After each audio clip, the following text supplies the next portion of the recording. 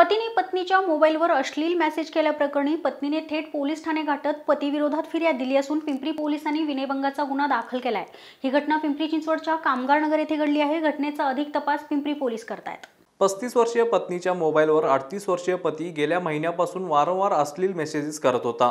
अखेर ह्याला कंटाळून पत्नीने पिंपरी पोलीस ठाणे गाठत पतीविरोधात फिर्याद देत विनयभंगाचा गुन्हा दाखल केला आहे चार ते पाच वर्षापासून पती पत्नीचे पटत नव्हते. दोघांमध्ये सतत वाद होत असत अखेर दोघांनी वेगळं राहण्याचा निर्णय घेतला आणि पाच महिन्यापासून ते वेगळं राहायला लागले.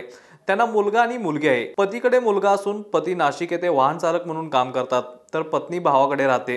गेल्या काही महिन्यापासून पती सतत पत्नीला अश्लील मेसेजेस करत होता.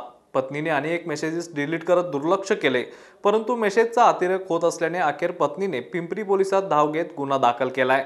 नवऱ्याला तिच्या विरुद्ध बाबत थोडा संशय आहे त्यामुळे त्यांच्यात नेहमी भांडणं होऊन ते वेगवेगळे झालेले आहेत. आणि मागच्या आठवड्यामध्ये नवऱ्याने तिला एक एक S M S S M S पाठवला.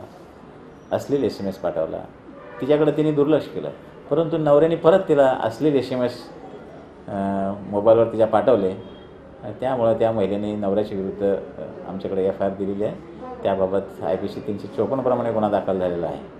आणि तपास चालू आहे.